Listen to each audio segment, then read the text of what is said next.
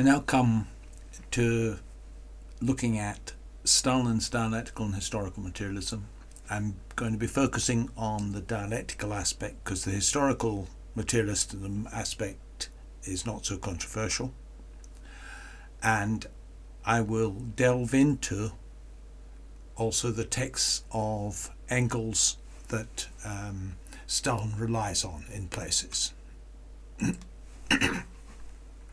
he sets out four principles of dialectical materialism. One, that nature is connected and determined.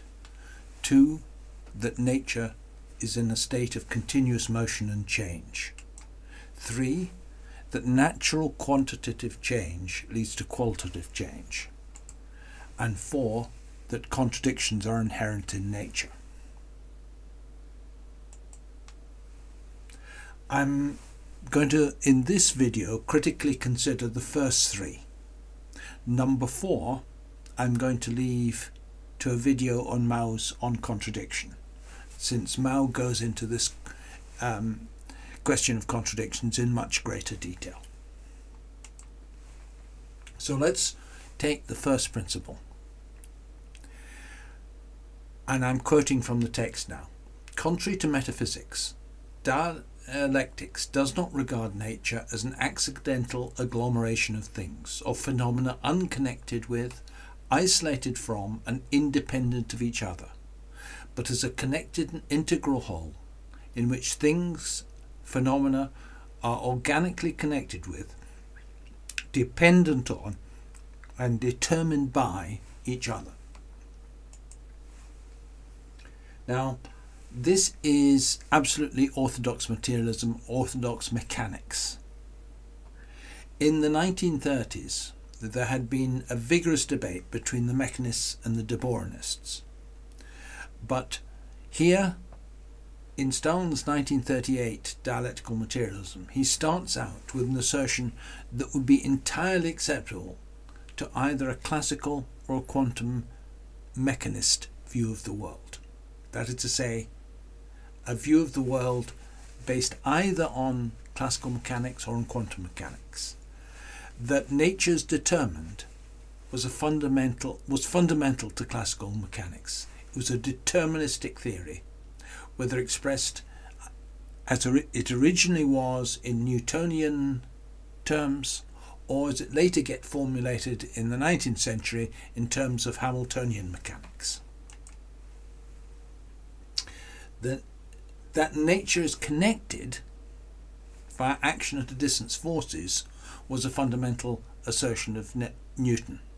And this was the most controversial of Newton's um, postulates because the idea of an action at a distance force, force that could be transmitted through a vacuum, seemed very strange when he put it forward first. Because up until till Newton, mechanics was still the mechanics of Archimedes, the mechanics of Archimedes' fundamental machines, where everything is in terms of contact, forces brought about by contact. In quantum mechanics, the same connectedness applies. To those of you who've read a little on it, think of the Einstein Podolsky Rosenberg thought experiment to do with um, separated particles with um, what you would now say is entangled properties. And the physicist Bohm referred to this as the implicate order of reality. So an assertion that nature is deterministic and connected is not something specifically dialectical. If dialectical materialism holds this thesis of, of um, Stalin, it's because it's a faithful follower of mechanical materialism.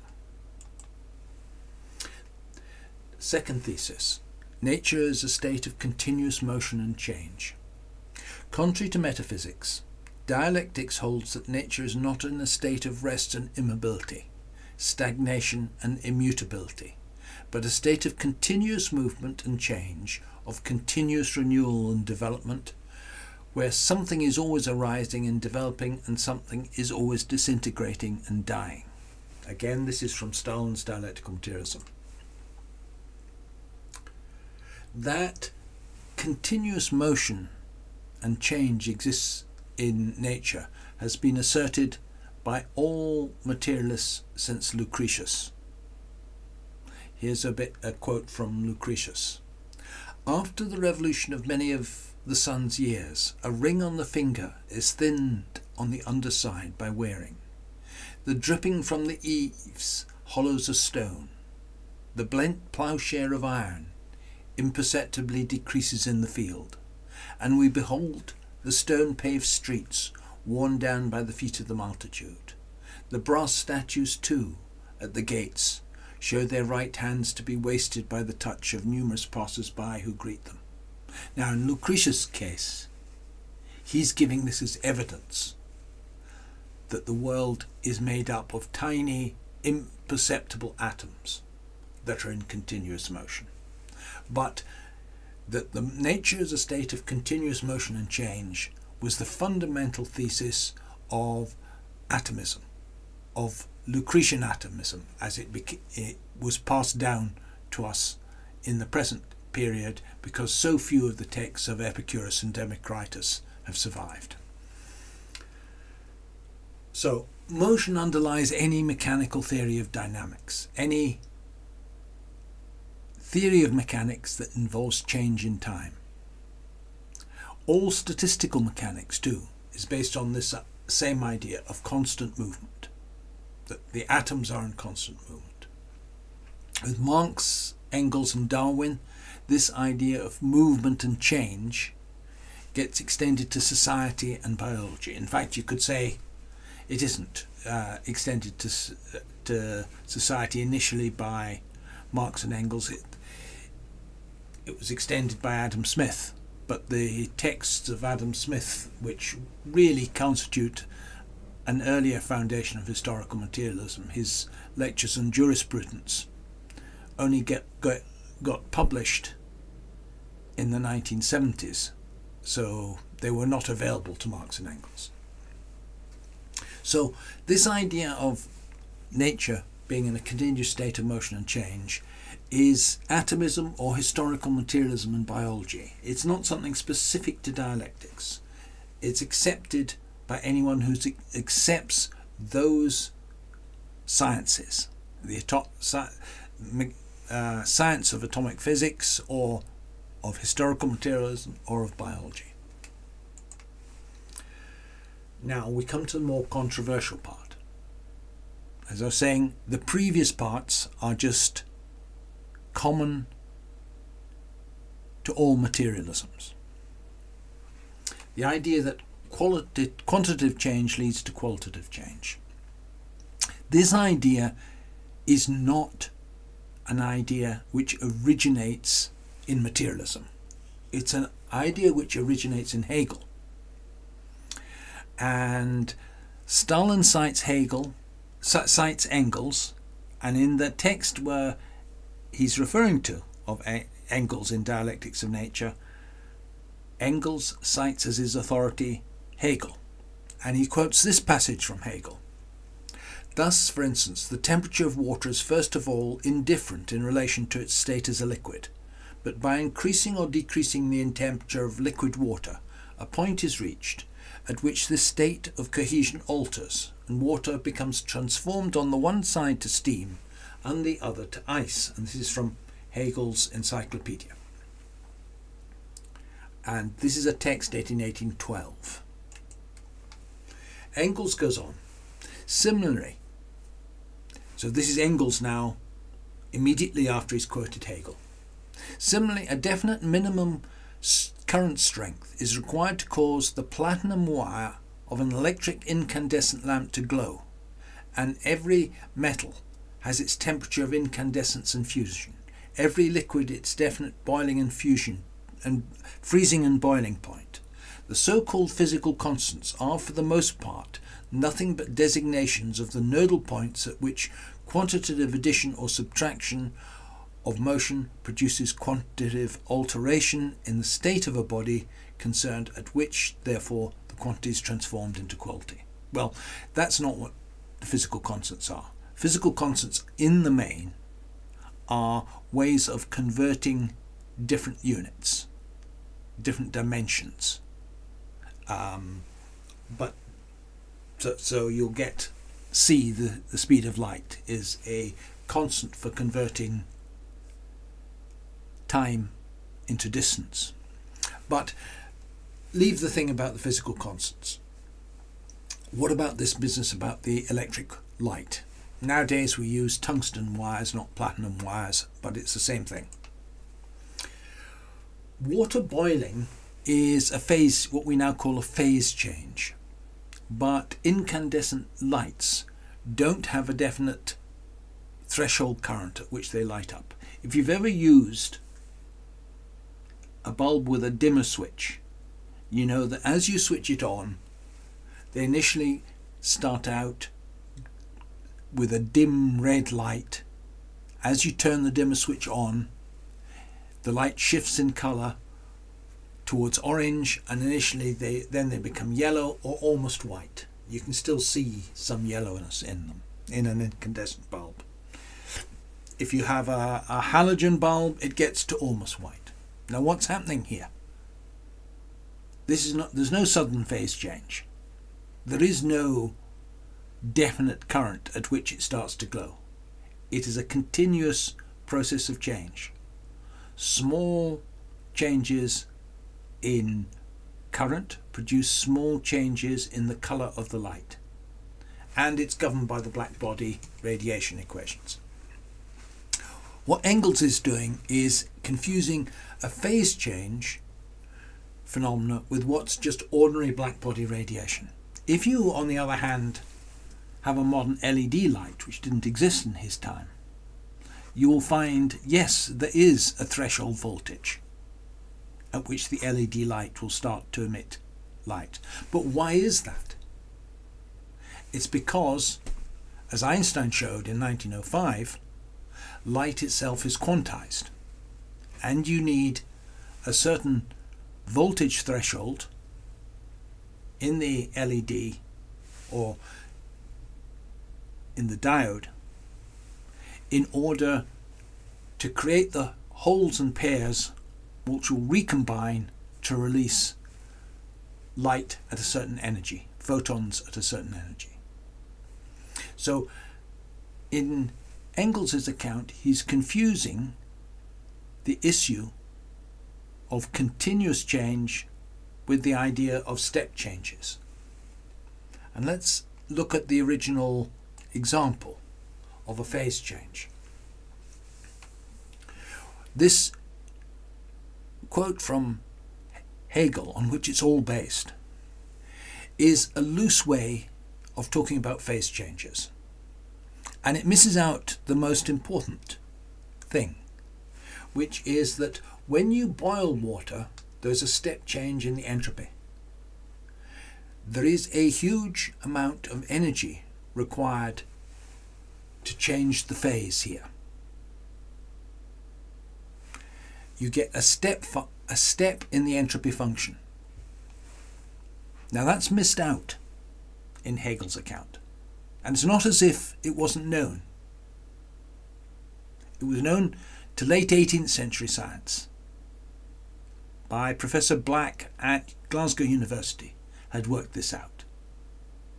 So, but he, Hegel misses that out because he's talking in idealist philosophical terms about quantity and quality. And what is quality? This is something from idealist philosophy. Idea notion of a phase change in entropy is something from modern scientific materialism. And of course, as we say for the light bulb, there's no such step function. It's a continuous function. Again, suppose we have a modern boiler for a modern thermal power station. These are often supercritical boilers. That is to say, they work at above 3,200 pounds per square inch. At above that pressure, liquid water and steam become indistinguishable as phases. So, a supercritical boiler has water pumped in at the top. The water flows down a, curl, a, a convoluted pipe, flowing in the opposite direction to the flow of the hot gases from combustion. By the time it reaches the bottom, it is steam, but there is no phase change. It just rises in temperature because the whole pipe is operating at over 3,200 pounds per square inch. You can dress this up in the language of quality by saying that above 3,200 uh, pounds per square inch there's no qualitative difference between water and steam. Or you can say something more precise and that above 3,200 pounds per square inch there is no step in change in entropy as the as we heat the water up from into steam. So what counts as qualitative change? What counts as quantitative change? Is Engels referring to whole numbers or to a continuum? It appears in the example of the current and in the example of temperature that he's referring to whole numbers to sorry to, to a continuum he misses out the important um, conceptual element of the entropy, but he talks about heat or temperature, which is a continuous variable. So what, what have we gotten so far? That the definition of qualitative change is vague. Nowadays we have a more precise concept, that of phase change. And this is given a precise meaning in modern uh, scientific discourse. Phase changes certainly exist, but not everything Engels says is a quanti- uh, uh, quantity to quality change actually is a phase change. Even the water to steam one only occurs at certain pressures. So it's not a general rule that quantitative change leads to a phase change. It's only certain phenomena, certain physical systems have this property. Engels goes on to talk about chemistry. The sphere, however, in which the law of nature discovered by Hegel celebrates its most important triumphs is that of chemistry. Chemistry can be termed the science of qualitative change of bodies as a result of changed quantitative composition. That was already known to Hegel himself. As in the case of oxygen, if three atoms unite into a molecule instead of the usual two, we get ozone, a body which is considerably different from ordinary oxygen in its odour and reactions. Again, one can take the various proportions in which oxygen combines with nitrogen or sulfur, each of which produces a substance qualitatively different from any of the others. Now, think a little about what I said about what does he mean by quantity. Does it mean a continuous variable or does it mean a discrete variable? He's switching from a continuous scale like temperature to integer numbers of atoms. Now, the integer number of atoms is a necessary consequence of the atomic materialist theory. The atomic materialist theory, right down from Lucretius or Democritus, is that there are smallest elements, atoms. Lucretius doesn't call them atoms, he calls them smallest bodies. That there, there are smallest bodies. And if there are smallest bodies, any composition must contain an integral number of them.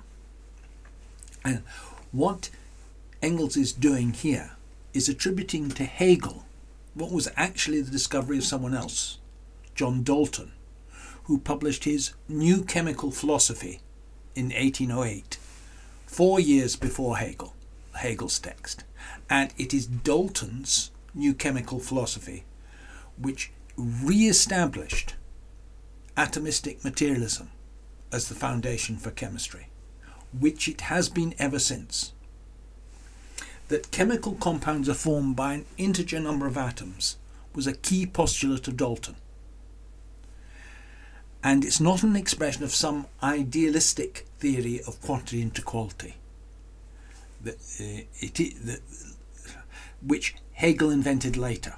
Hegel didn't come up with this property of, uh, of chemical compounds. Dalton did, and Dalton came up with it because it was a necessary consequence of the atomic theory. If there are distinct elements, and if these distinct elements are made out of atoms, then it is necessarily the case that a molecule must be made up of integral numbers of atoms of different types. And this is absolutely fundamental to the to the argument in Dalton and it's fundamental to the illustrations in Dalton's book. But that doesn't explain why this idea of quantity to quality had such a grasp on people.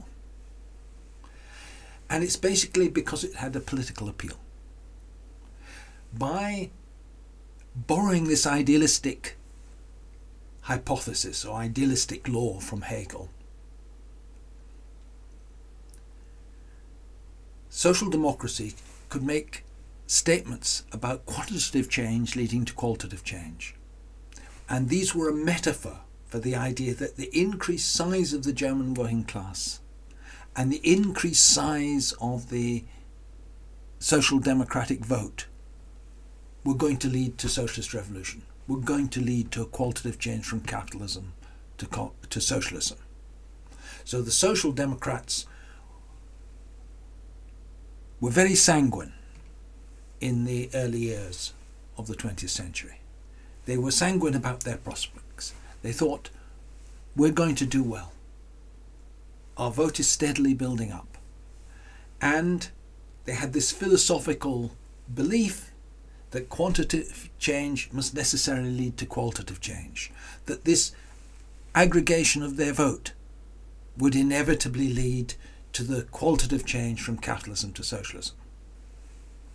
They were sanguine, but we know that the actual process was sanguinary.